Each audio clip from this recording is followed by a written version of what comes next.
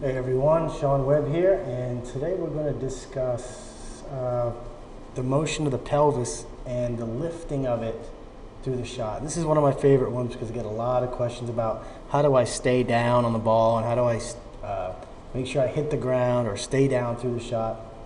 And we're going to see something here that's pretty interesting. On the left, left here, this is the pelvis and rib cage lift graph. So we're just going to focus on the pelvis motion here for a minute.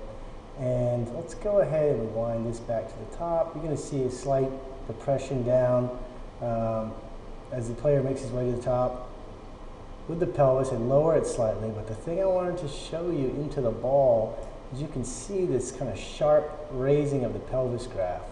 So what that means is after this point in the swing right here, that's kind of at the lowest, you're going to see this player push into the ground and the pelvis is going to raise up through the shot. So that is what helps bend this hand path up and in. When they start making a motion, pushing off the ground and raising the pelvis, and even more obviously into the finish as he stands up. But this motion down at the ball where you can see this this line rising here in this graph and growing, that means that after this kind of halfway point in the downswing, this player's pelvis is moving up as it's rotating, and that's what gets the hand path bending up and in allows the club to go down and out, take shallow divots, and ultimately hit solid shots. Now, uh, this is a stark contrast for most amateurs. They're trying to keep everything down through the shot.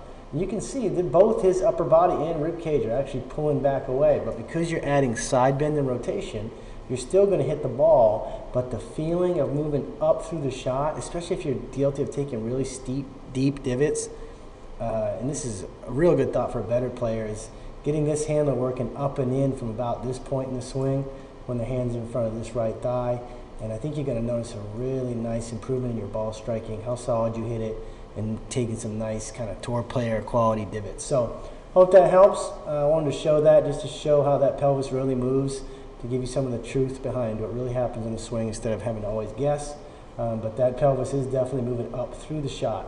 So let me know if you have any questions. If you want me to cover another aspect of the swing, I would be glad to. Leave in the comments below, and we will see you in the next video.